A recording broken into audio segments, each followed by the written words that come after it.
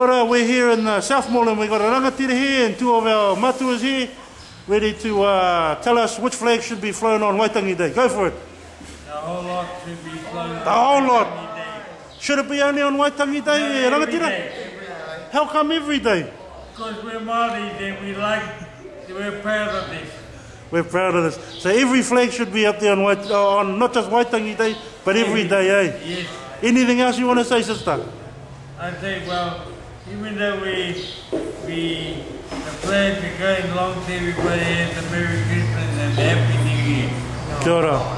Yeah. And what about you, sister? What do you think? Um, well, my thoughts are is that we have to be strong and unite as one. As one. And yeah. you? And I agree with that, yeah, Oh, kia ora. Thank you, Matoa. Thank you, Fire. Kia ora, tatai. Oh, kia ora. Kia ora.